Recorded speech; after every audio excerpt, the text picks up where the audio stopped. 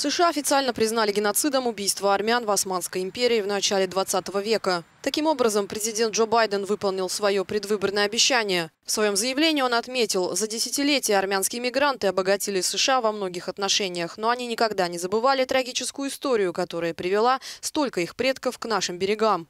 Анкара не признает факт геноцида и настаивает на том, что события надо рассматривать исключительно как массовое убийство в отсутствии целенаправленной политики по уничтожению армян. Министр иностранных дел Турции Мевлют Чавушаглу заявил, что слова не могут изменить или переписать историю, и позиция Байдена основана исключительно на популизме. Премьер-министр Армении Никол Пашинян назвал решение Байдена воодушевляющим и вдохновляющим примером для всех, кто хочет вместе построить справедливое международное общество. Мы ждали этого долгие годы.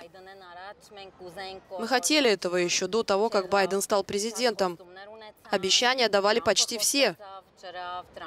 И Дональд Трамп, и те, кто были до него, и мы ждали. Думаю, что теперь Турция будет бояться, потому что в этом году или в следующем все страны признают геноцид. Все будут говорить об этом.